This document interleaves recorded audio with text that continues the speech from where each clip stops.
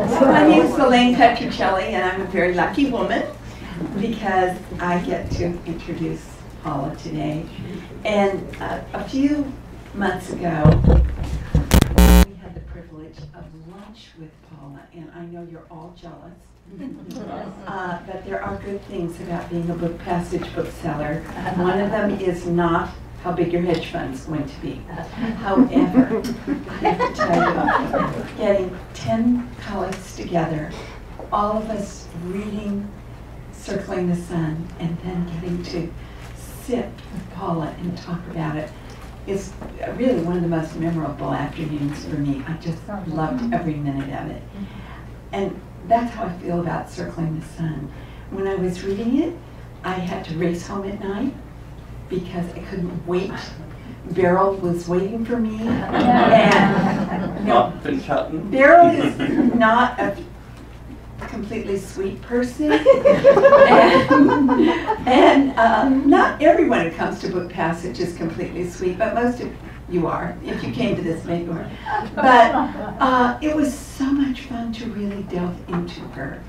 And uh, I loved Paris Wife. I, I, it was one of those books that, again, just transported me and let me see the depth of someone I kind of knew about, mm-hmm. but didn't know it really was know deep down about.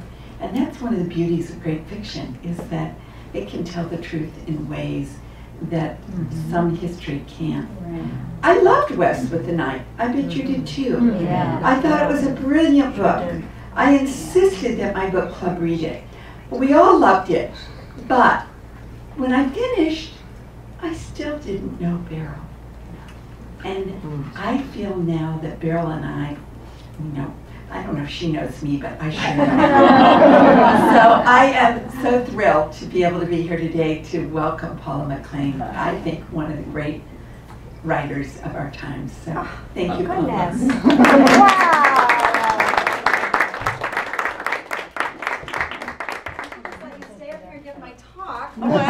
I hope I didn't give away any of the juicy parts.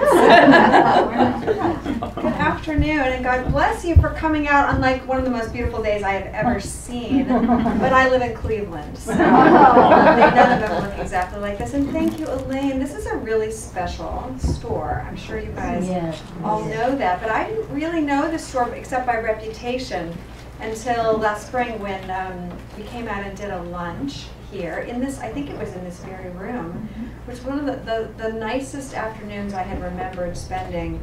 And part of it is Elaine and her particular glow and how much she loves books and advocates for books, but her staff, and we just had the most remarkable conversation. I felt like I was in the middle of a literary salon.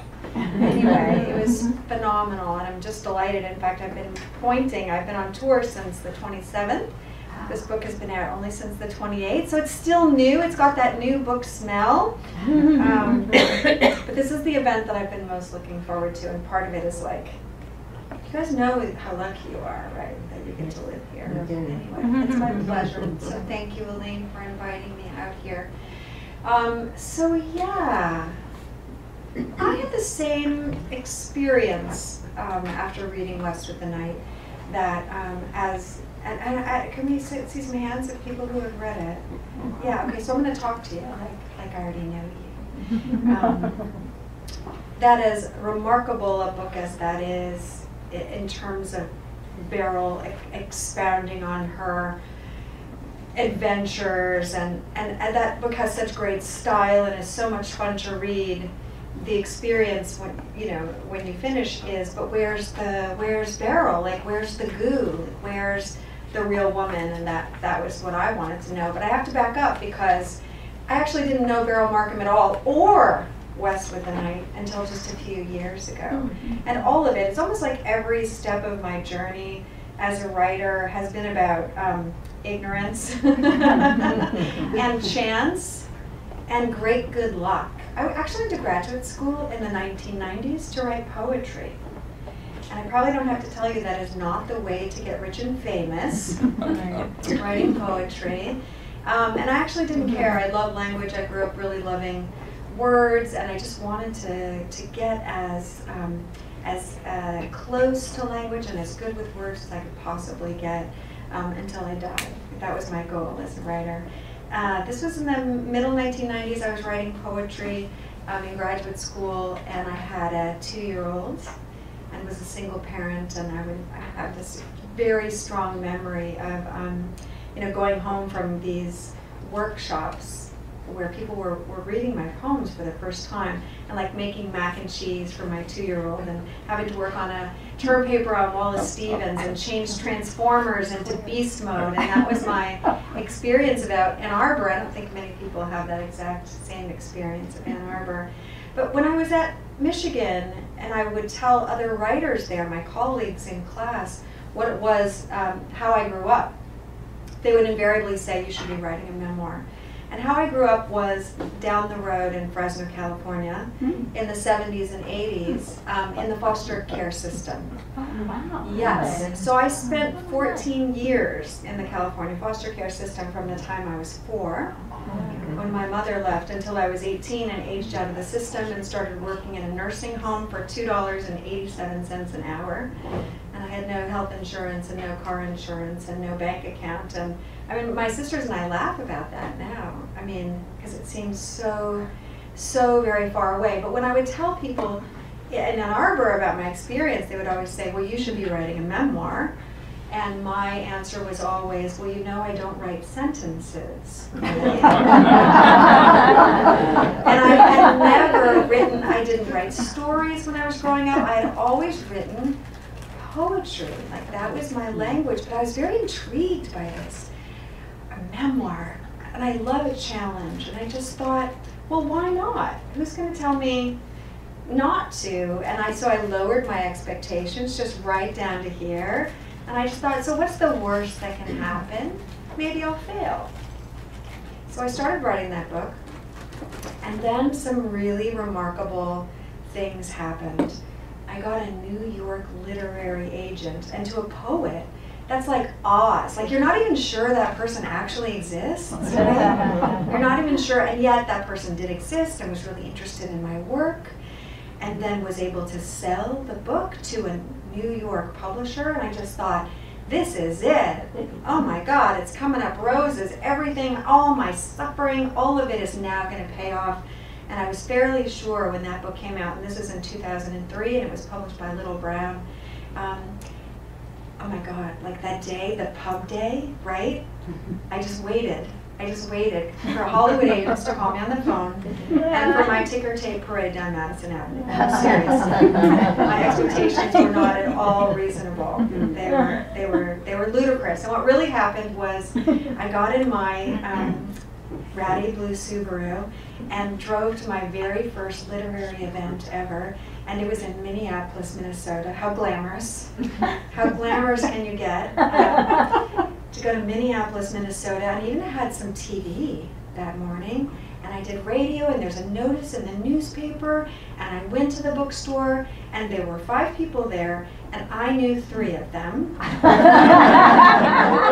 mostly, what I'm here to tell you is that is the that is the experience. You know, like really, what seems glamorous and what had always seemed glamorous to me, right? Sometimes can feel a little like schlepping your own books out of your car in the Safeway parking lot. Sort of feel that way. Um, but in another way, I was doing what I loved, what I absolutely loved, which I consider a privilege. And I just knew that I was going to keep on doing it. And um, so when the memoir was sort of in the, you know, in the, in the past, um, I lost my literary agent and I lost my publisher. Um, when you don't make money, when you don't sell books, there's this very nasty thing called BookScan. And they can tell, like, to the copy how many books you've sold. It's terrible. Um, it's terrible for authors, but really good for booksellers. Um, I lost my, my agent and I lost my publisher, and I had to start all over at the beginning. Um, and I decided, well, if I have to start all over from the beginning, maybe I'll write a novel. Again, like, how bad could it be? Maybe I would just fail, and that would be okay too. I didn't know anything about writing a novel, um, and it took me five years. five years because I was teaching myself how to write a novel as I was doing it, right? And reading everything and just sort of like, it just felt like such an education. I was schooling myself in the writing of the great American novel. Um, I also had little kids at this time, little little kids, and would um, have to go up to the library to work because they just, at the minute I walked in the door, you know how it is when your kids are little, they want everything. They just want all of your time and your attention. They want your soul through your eyeballs. Um, the writer Ayelet Waldman, who lives near here in Berkeley, says they want the foam off your latte. they just want everything. And so uh, there was no such thing as writer's block. It was my, my favorite time of the day was that one hour that I would go up to the library and just disappear into this world that I was creating. And it took me so long because I didn't know what I was doing, but you know, stumbled my way through that book. And, and this was 2008 by the time this book was was finished, and I got a new agent, and I got a new publisher, and I went back out on the road. and this time I drove three hours through a blizzard to Pittsburgh because I was living in Cleveland at the time. Um, to a Joseph Beth. You guys probably don't know those stores, but they're in the Midwest to a Joseph Beth where there was one person there. There was one person there, and I didn't even care. I'm like, I love you.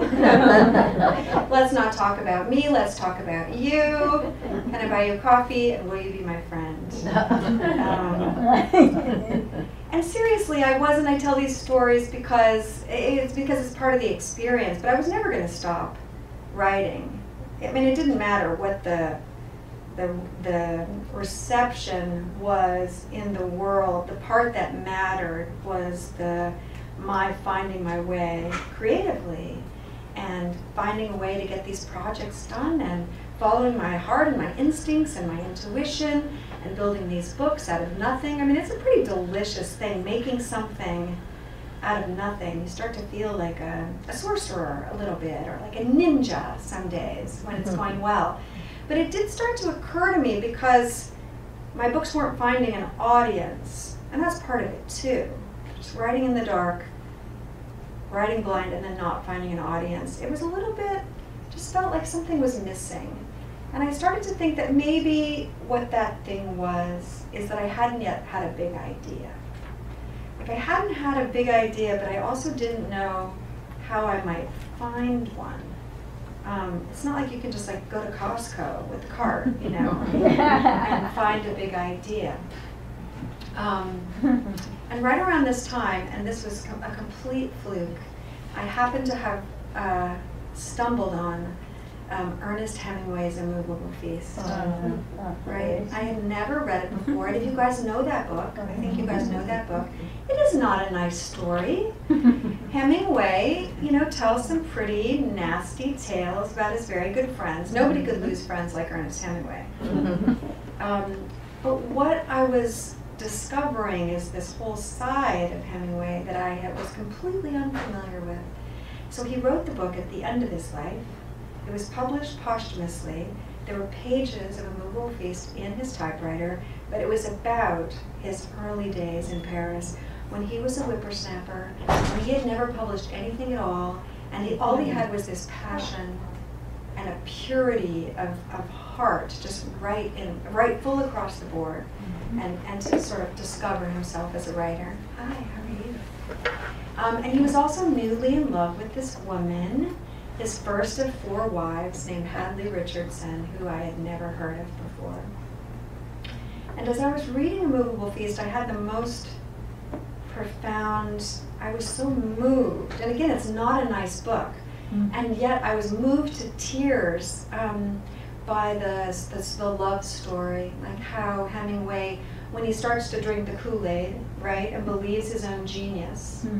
and believes that he can rewrite the rules, loses the great love of his life. Like that was so moving to me. And I just wanted to know more. Like, who is this woman? Who is Hadley Richardson? And how did they get to Paris, these two? And how did, how did they even meet? Because Hemingway doesn't tell us anything like that. I mean, then what really happens so that they lose each other? I just really wanted to know, and I just let my curiosity take it from there. I didn't know if there had been biographies written about Hadley Richardson. Like I said, I'd never heard her name. So I drove myself to the library where all good things can be found. And lo and behold, there were two biographies about Hadley. And I just let the first one fall open. Do you guys ever read books that way? You sort of just like let a book fall open and see what mm-hmm. it might have to teach you. And there was just an excerpt of a letter um, that Hadley wrote to a friend not long after she first met Ernest at a party in Chicago in 1920.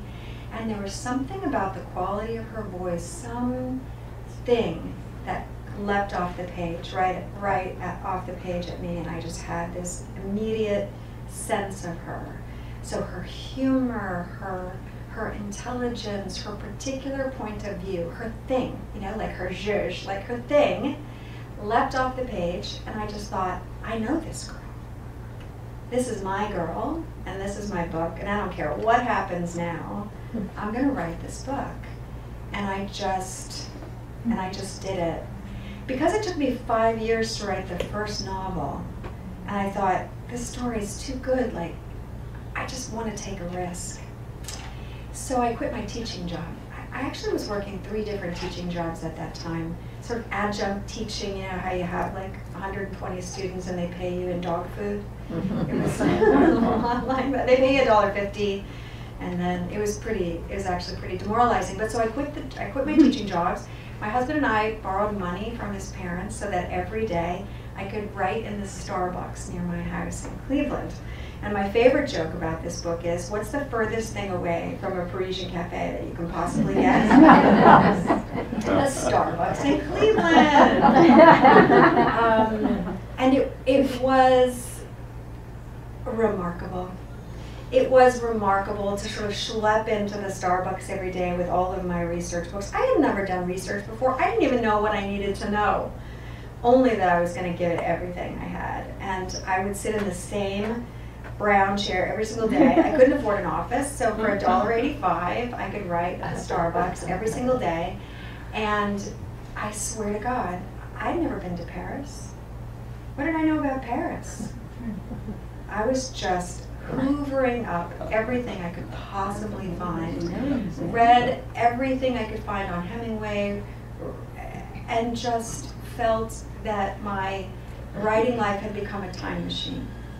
That whole history was unknown to me. I didn't know anything about Paris in the 20s. I was learning it as I was learning about this love story, which was incredibly moving to me, and learning about this life of this woman that I was absorbing, almost as if I was starting to channel her. Do you know what I mean? And that's what it mm-hmm. felt like. It felt like I was an actress in the role of my life, and that was Hadley Richardson, and somehow I had been lucky enough to find her. And so she just swept me away. I didn't have the, the I didn't have permission to use her actual words, but I found that there was a cache of love letters in a, in a library in Boston, the John F. Kennedy Memorial Library, and I could go there and read all of her letters, thousands of pages mm-hmm. of love letters, because Ernest Hemingway saved everything. And so that's, I know, I know, right? He saved everything, that man. And I went and just read all of her letters and started to feel like I had the the confidence and probably audacity to think I knew, and uh, you know, something about this woman's essence, and that I could follow her down the rabbit hole. And there she is in Paris in 1922, or she's in Gertrude Stein's salon, and to know what she's thinking and feeling. And that book was like magic. Every single day was the best day of my life because it was working and it was sweeping me away. It was like being strapped to the side of a rocket ship and the story was just going and all I had to do was hold on and not screw it up. That's how I felt. And um, I wrote the book in seven months. Wow. Seven months as opposed to five years. So there's a learning curve there. there's a learning curve there. Um, and then when the book launched, every good thing a writer wants happened. Like cherries lining up on the slot machine, right? I was out on the road in Ann Arbor, in fact, where I lived on $12,000 a year, writing term papers on Wallace Stevens and making mac and cheese for my two-year-old. And that was the day I got a call from my agent saying I'd made the New York Times bestseller list. and I'm hopping up and down, like alone on the road, you know, shrieking and hopping up and down, like the, like really, and that there was there, it made it even more delicious. Um, and I'll always remember that, and I'll always remember that I happened to have been in Atlanta last week when I got the call again about this book, making the Times list. So that's always a very happy day. But the book just kept on going. Like I went out on the road to do like 10 events, and I kept traveling for almost a year and a half. Um, 77 weeks on the New York Times list, and I kept thinking people were getting something wrong, right? Because I had never, had nothing, had, I'd never had readers before. Um, I would go to events and it would be standing room only, and I'm like, am I in the right place? am I in the right place? Um, and you know, there are no detectives in my book.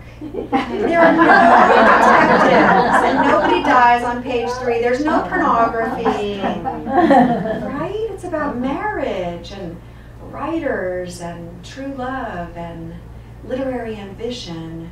Anyway, it was so much fun to go out into the world and talk about these characters who have been my imaginary friends and um,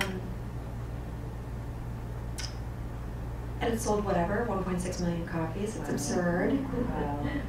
But then when it came time to follow that up suddenly i had readers. Everything i'd ever wanted was on my doorstep but like in a ruinous way. You know i had all these readers saying what are you writing next? I'm like no idea and then my publisher really wanted to know what i was writing next because the formula had worked so well so wouldn't the formula just keep on working? Wouldn't I just have to find another woman from history who is inspiring, who can shine a light on some little corner of history? And wouldn't that work? Well, intellectually, yes. Intellectually speaking, it should work. Um, but I couldn't find it, you know? I couldn't find it. I had a couple of ideas, but then they never led anywhere. Um, and I was pretty unhappy for about the first two years after Paris Wife came out. And then I started writing in earnest. And I found uh, another subject, and I started to work on a novel about Marie Curie. Marie Curie, that should work. She's so inspiring. She had such an incredible life, and there were all sorts of things in her personal story that I connected to. I thought, and I get to go back to Paris in 1894. Um, there's no sex, but there's radium. You know, there's no sex, but there's radium, and um, and I just started to do all this research, and it was so interesting to me. I honestly think I know more than a human should possibly know about physics in 1894. I just felt like I was learning all about her laboratory, about pitchblende, and there's poor Marie like stirring a vat of pitchblende for about 20 years, you know, with an iron bar that weighs 20 pounds, and and it was boring. It was really boring, and my editor um, was was really bored and, and felt quite free to tell me so. um, and it's really too bad, but I wasn't surprised when I would get notes from her about the latest draft. I worked on this book for two and a half years, and I kept thinking, mm-hmm. any day now, any day now, I'm going to find it. I'm going to find the thing. She's going to leap off the page at me, and it'll be like magic again. Any day now, I'm going to find the voice. I'm going to find the point of view. I'm going to be able to, to bring this story to life because what it felt like was, you know, a mannequin, like a like I'm pushing a mannequin around like in a shopping cart, and it was horrible mm-hmm. because I just had the sense like I didn't even believe myself, and the dialogue was so flat, and I just couldn't get the engine going, and it was making me very unhappy. In fact, because all the stuff that had been like I don't know what to tell you, like falling in love with Hadley, right? So special, and then changed my and then changed my life and changed the arc of my career. And all the things that I thought I knew now about writing, I couldn't actually apply to the story at hand. I couldn't make the book work, and I couldn't make it good. Um, and around this time, I went on vacation with my sisters and my brother-in-law in Orlando, Florida. And I was I was deep into that book and, and very unhappy and um, and uh, so I thought I should drink a lot. That's what writers do when they're happy, right? yeah, that was gonna make it better. That was gonna make it better. Anyway, I just had this have this memory of sitting um, in Orlando with my sister. My brother-in-law is there. My brother-in-law is a, a doctor, but he's also a hobby pilot. And that weekend in Orlando, he was reading um, West with the Night by Beryl Markham. Hmm. Book I'd never seen before, about a woman I had never heard of before. And he kept looking up from the side of the pool, and looking at me and saying, You need to read this book. This woman is amazing, and you're going to be inspired by her. You're going to write about her. Yeah, right. Hmm. But people tell me all the time what I should be writing. I've never done an event where somebody doesn't come up to me afterwards and say, "Oh, you know what your next idea should be, right? So there he is telling me, you need to read this book. This is going to be inspiring to you, blah, blah, blah. Well, I ignored him. He's my brother-in-law. I always ignore him. totally, totally. And thank God he ignored me right back. He like shoved the book in my hand at the end of the weekend and he's like, you are reading this book. This is going to be important to you. So I took it home and I put it on a shelf in my dining room, not even in my office, and it sat there for a year and a half. Oh my Bottom shelf, bottom shelf. that's how I feel about my brother-in-law. And then one day, at the edge of reason, I pick up the book, it falls open, and the passage that I read is from Beryl's childhood. Um, and it was about as subtle as being struck by lightning.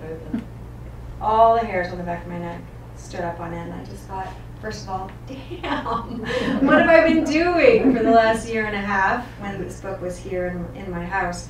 Um, and I just knew I was going to write about her. No matter that I didn't yet know who she was. I just, that thing, that thing that had been missing, mysterious, profound. I have no idea what it is. I don't know why things move us. I don't know why things sort of strike a fire um, and, and create what, you know, this immediate engine of curiosity and empathy and gives me the ability to attach to a character, right, to a person, but one who actually lived. Like that's the extra magic on top. And so here was this whole new woman that I didn't know, and the same thing happened. I just felt like I rocketed into her biography. I just wanted to know everything I could possibly know about her, and you know, particularly after living with poor Marie in Paris, like stirring the pitchblende with the bar that weighs 20 pounds. Like suddenly, it's like, oh, honey, I'm going to Africa. Like. It was so much fun, and I just plowed through West of the Night. You guys know the book. It's so extraordinary to think, who is this woman? Oh my God, she's like Calamity Jane, but she happens to look like Greta Garbo. She takes no prisoners, and she she's fearless, and she tackles this stuff, and and I, I- I just couldn't believe after reading West of the Night that I didn't know who she was. Like, how had she been overshadowed by history? So her historical significance is that she was the first woman to fly the Atlantic east to west the hard way in 1936. I didn't know who she was. We all know who Amelia Earhart is. Right. So what what what was going on there? So I had that question. Where had she been all my life, right?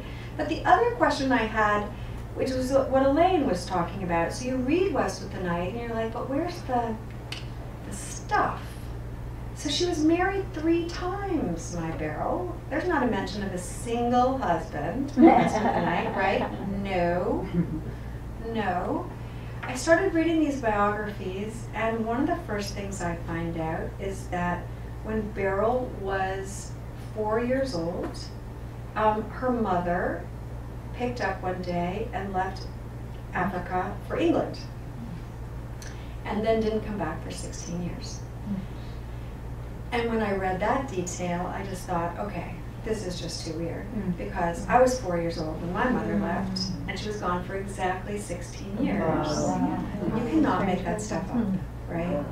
So then my project became something else. At the moment I found out that we had this, this, we shared this emotional and biographical DNA, I couldn't help but look at her life in a certain way, that it was because of this, these losses in her early childhood and the way she's forced to reinvent herself as the girl that we know from the middle of West with the Night, sort of that young warrior in training that hooks in with the indigenous tribe on her father's land and like learns to to use a slingshot and like hunts warthogs and um, becomes this leggy, wild-hearted, wild thing, right? That girl. But hmm. it's that girl then who also grows later into this woman who takes no prisoners. And that's what I just started to think. Like it was Beryl's early losses. It's how she learned to push back against the world that created this woman that we know today. And that's why I started writing about her personal story rather than, for instance, going right to the good stuff, right? Mm-hmm. Right? The transatlantic flight or the, I mean, it wasn't, her accomplishments are striking to me, but my curiosity had every, I think I'm a pop psychologist too. My curiosity was really very directed at her, her personal story. West with the Night was first published in 1942 and then kind of disappeared. Um, when it was republished in the 1980s, Beryl was living in poverty in Nairobi. She was often living in poverty, actually. She seemed not to know what to do with money. Um, I sort of like that about her. Um, and it was really, if you don't know this, the reason that West with the Night was able to be republished in the 1980s was because of Ernest Hemingway, my other friend, Ernest. Um, Ernest, at one point after West with the Night had been was out, wrote a letter to his editor Max Perkins and said, "Have you read this book by Beryl Markham? It's a bloody wonderful book, and she can write rings around the rest of us." Well, he also said some nasty things about her. Called her a high-grade bitch. Um, but he said that about lots of women, so we can't can't take him too seriously. Anyway, so he wrote this letter to Max Perkins. The letter kind of disappeared, and then when his letters w- were reprinted, when they were published, um, his son John, who is my character in The Paris Wife, Bumby, um, Hadley and Ernest's only son, was living in LA and he had a really good friend who was a restaurateur. And one day he was showing his friend his letters, his father's letters. And in that pile was this letter that Ernest had written, Max Perkins, saying, Have you read this book by Beryl Markham? It's a bloody wonderful book. And he's like, How come, who's this woman? Like, who is this book? What is this book? And he looked for it and it was out of print and he managed to get his hands on a copy and he fell madly in love with it. And he just thought this is an extraordinary book. Like how is it that it's disappeared? And so he wrote beryl in nairobi and said you have written an amazing book and i'm going to find a way for it to be in the world again. And she didn't even believe him and then he did it. And it became a bestseller. Um, and that's how it was that beryl was able to live sort of the end of her life in some comfort and, and notoriety in her small community in Nairobi. I just love that. I love that my friend Ernest, even though he was saying nasty things about her too, is really, in, in a way, sort of responsible for the reissuing of West of the Night. It's, it's an extraordinary book. I'm really glad that it's alive. Um, and so when this book was done and um, and I knew that you know it's it's that it was going to be in the in the can, and I submitted it to my publisher. I went over to Africa, um, and when I was working on the Paris book, like I said, I quit my job. I was dead broke. I wrote in the Starbucks every day. I couldn't have afforded to go to Paris. Like I didn't have two dimes to rub together. And because something really special happened with that book, I thought maybe part of that was my not my having. I invented it. I invented Paris. I had to get there through my imagination. And, and, in a way, like you can't visit Paris in 1922. You have to imagine it. Right. And I'm like, you can't visit colonial Kenya. Mm-hmm. So I just thought, I'm going to write this book and then I'm going to go over there as a way, basically just to pay tribute to this woman who has been so profoundly important to me. And she really saved me, honestly, because I'd kind of given up on myself. I had sort of given up on my creative process. I just thought it's never going to happen again. I'm never going to meet anyone that electrifies my imagination in exactly the same way as Hadley. And now I know it's just about finding the right, the right one, the right magic, the right chemistry, whatever that is. Anyway, so I went over to Kenya, which was the coolest thing I've ever done in my whole life. Just unbelievable. And Nairobi today is like four million people in high rises. And um, if I had gone, I don't think I would have found her. You know, Nairobi and Beryl's day was, mm-hmm. you know, tin shacks and goats mm-hmm. mm-hmm. Exactly. and eucalyptus trees and red dust. And I just think that I would have gotten lost somewhere along the way. But much of Beryl's world is under there if you know where to dig. For instance, you can find the Muthaiga Club, right? If you guys have seen Out of Africa, yes, the movie Out of Africa. Um, still there, sort of unchanged since 1913. Um, I was able to go to the Wilson Aerodrome where Beryl learned to fly in 1929, um, to Karen Blixen's house, which is a museum, which is phenomenal, to Denys Finch Hatton's grave. Um, and then I went to Njoro, 100 miles up, up country from Nairobi, where Beryl grew up on this horse farm. And it's still a horse farm. And I was able to stay in the cottage that Beryl's father built for her when she was 14 years old, which is still standing. And you guys can rent it because it's there. It's like a B&B, you know? Oh, It's extraordinary to wake up before dawn and kind of go walking through the horse pasture, and there's the green hill that she talks about in her book, and to see her view and to smell her smells, and those are her stars. And, and I just have to say, you know, it's the thing about this genre which is completely addictive to me, because the thing about writing about people who actually lived is you can go into the world where they lived and meet people who actually knew them and it's extraordinary. I met a guy named Buster Parnell, who was Beryl's jockey for 20 years. And he's 80 something years old, right? And he sat in the sun on this uh, lawn chair at the Ngong racecourse and told me great stories about Beryl. He called her the, the great unconsummated love of his life. Oh he was such a stitch, and he does this great Beryl impression too. But he kept, he kept stopping when we were talking and saying, I'm, I'm not doing this very well. I, I'm getting this wrong. I don't know how to say it. Hmm. I don't know how to describe her. It's like all I can say is there's no one like Beryl who has ever lived, and there never will be again. And I thought, I think you're right. And he said all sorts of things about Beryl, and it, but he always says some nasty things. He's like, I love that woman, but she hated women. she hated women. I just thought that didn't sit right with me. I don't know. So I had another uh, meeting that day with a, another uh, colleague of Beryl's, a woman who was also another racehorse trainer in Nairobi, iconoclast, strong woman, and her name is Patty Migdal, and she's 92 years old, and she invited me into her house, and we sat and had tea, and I just felt so honored to be there. And I said, Patty, do you think Beryl hated women? And she got a funny look on her face. She's like, well, don't be silly. Beryl didn't hate women. She hated people.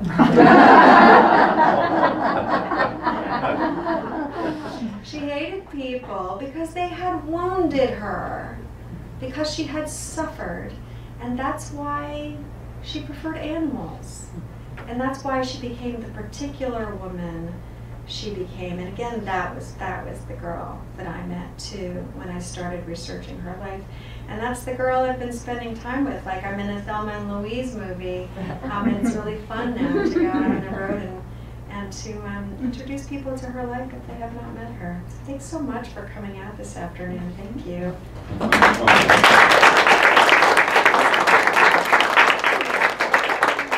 So if there are questions, I would love to chat with you a little bit if you have them. Yes, ma'am. Um, just to go to Paris Wife because I haven't read your new book, but I can't wait. Yeah, thanks. Um, I was amazed how you could write the dialogue of Hadley because I think you said you couldn't use her quotes or something, but you had her letters. That's So right. how did you, how do you get in their heads Right. enough to be able to do that? Okay, so the thing about historical fiction, and people have this question all the time, like how much is fact and how much is fiction and what can you make up and what, what can't you make up and how is it that we can write about people who actually lived and, and it's still fiction? So because it's a novel, in a way, anything can happen. I could have made Ernest Hemingway a cross-dresser, and some part of me kind of wanted to. You can say anything happened because it's a novel, it's fiction. What you can't do is use words that actually exist. So I couldn't use any two words together in Hadley's letters or in Hemingway's manuscripts or in his fiction. So that's the part where I had to just kind of, um, I think of it as like riffing, like jazz music- musicians or something, sort of like riffing on her voice. I had read so many of her letters, I kind of knew her turns of phrase. But it's sort of like it is. It's like an actor's trick, kind of getting inside her skull and sort of seeing through her eyeballs. And the reason I think that the dialogue um, works, I studied dialogue at the knee of Ernest Hemingway. I mean, I feel like I was reading him so obsessively, particularly The Sun Also Rises, this eclipsed quality and sort of that time period. For whatever reason, I just really like that time period too. I love the 20s and um, I kind of love what's not being said too and the intensity of what's not being said, sort of what's under the surface, and that's Hemingway's whole thing, right? The iceberg principle. You know, we might see one eighth of the iceberg, but all of the weight is underneath. And to me, really good dialogue is people not telling each other what they actually are feeling. It's underneath, right? Um, it was so much fun. It was so much fun to write that book, and and again to feel like I was getting a, a tutorial in the writing of dialogue. Um, That was magnificent. thank you. And just one other thing, when she stays with him for so long, it's just amazing. And you want to shake her? yeah, me too. I wanted to shake her too. Yes, ma'am. I don't know if I read this, um, if I read it incorrectly, but is it true that she burned all her letters? Oh, Hadley. Yes, Oh, so, okay. yeah, no, it's okay. So, as I said, Ernest Hemingway saved everything. It's why we have all of those letters from the early days. Um, Hadley saved everything too until 1926 when he left her for his second wife, Pauline Pfeiffer, and then she burned them, Hmm. which we can kind of forgive her for. There are six letters that exist from that from that time. Um, so it was a really interesting experience when I was researching and doing the book is like some of what I found, it was almost like a ghost story or a, um, following a shadow. For instance, I had Hadley's letter responding to Ernest's proposal. He proposed in a letter. I don't know that letter because she burned it, but I have her response. You know what I mean? So it was this very interesting, um, like a ghost chase. It was really fun. Yeah. Yes. Just a couple of uh, closer in uh, pieces of information that I came across in my life. The restaurateur, who was John Hemingway's friend, owned Ondine and. um, Is and- that and right? See how much you know? Wow. See, now he's only s- des- described in biographies, he's George Gundkist, right? But I don't know who he is really. So he was a big deal. That's a restaurant in Sausalito. Oh, that wonderful. is started in the See? 70s. The Sun Amazing. And the other is that KQED produced, um, in its heyday of producing documentaries, did a documentary in 1987 On Beryl called World Without Walls. And um, so there's that. I guess my only, I- and I want to tell you that Beryl Markham and Georgia O'Keeffe are my patron saints. But it's not about their art form, it's about how they lived their lives. And you touched upon that. And I'm startled by your um, connection with Beryl Markham and her life that way. The question I will remain, will a man ever inspire you the way those women have? You mean as a subject, As right? a Right. Inspired me on occasion. But, No, I, I know exactly what you're talking about. And certainly there are men in my books all the time. Hemingway inspired me. You know, I wrote in his voice too, and all the dialogue and the chapters that are from his point of view in the third person. But what you're saying is something else, which is that it's these, it's really these women's lives that are capturing my imagination and magnetizing something. Do I think a, a man could sort of um, ignite my curiosity and my the engine of my inspiration in the same way? And I don't. I, for a while, not to be not to be sexist, for a while I think I'd really like to do this because it feels like a feminist act. You know, to take up these women's lives that, for whatever reason, have been overshadowed or eclipsed or marginalized. Um, and and this is this is my toolbox. This is what I can do, right? is to dramatize their stories and give this bit of history um, with them at the center. You know, Hadley Richardson was written out of The Sun Also Rises.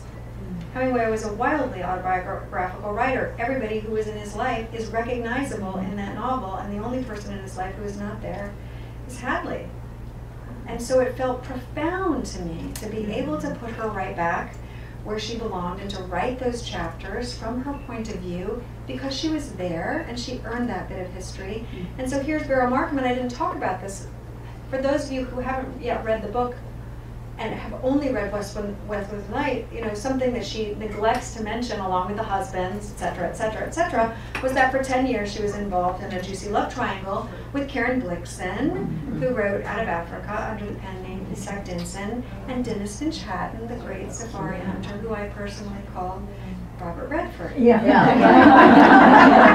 And here's this whole story. She was there, and yet she's not there. Beryl's not in Karen's book. Karen's not in Beryl's book. But essentially, it's kind of the same thing. Here's the woman that was written out of out of Africa, and I get to put her right back in. Uh-huh. and that's a pretty cool thing. Why was she written out of um, The Sun Also Rises? Why was Hadley? Yeah. I mean, I, I They were don't. married. Yes, they were married. I only have guesses, you know, and my guesses are that's a really dark story. Nothing, nobody, nobody comes out alive, in the sun also rises. It's a desperate tale, and I'd like to think it's because Hadley was sort of too. She had she had risen above all of that. She wasn't in all of that mess and you know the human goo and the turmoil and people trying to ruin themselves. And it, these were it was like desperate emotionally desperate times. And that she was you know she was his what? Beacon of light.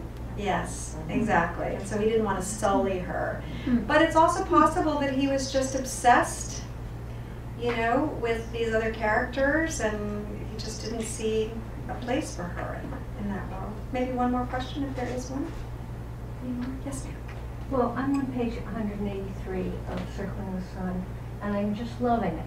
And I keep going back and looking at the cover. Because the isn't it pretty The colors of the cover, the clothes the drink, I mean, it's just, it's just everything. Glows, Yeah. yeah. And I'll say one little story about the cover because, of course, all of this matters, right? I've been walking through airports this week. How fun to see it sort of glowing out of the Hudson. It's really, really, really, really nice. So the first time, yeah, the first time I saw this woman, she's a real, she's a model. She lives in New York. She's also a photographer. Um, they had her on a blue background and she was just sort of looking off into the distance, very regal and clearly stunning. She has gorgeous hair. Um, but it didn't tell a story. And we knew that the book needed to tell a story. Uh, as the cover itself needed to tell a whole story. And so somebody found a still from out of Africa where Meryl Streep has been working all day and she comes back to the farm and she's sitting there and she's in that pose, Right. Oh, just like that. And, and then so Random House says, okay, beautiful, beautiful model, wear those boots, that shirt, the scotch, the thing. My editor went out and found, found that rattan chair, and they're like, this is the picture. This is what it is. And then, and then they made the photograph. But if you look at it, it's like everything works. Like I want to wear those boots. Right. Oh, I want to drink what she's drinking. I want to think her thoughts. Like it's just, I think it's like riveting. And it's like mm-hmm. magic. Anyway, thanks so much for coming out this afternoon. Thank you.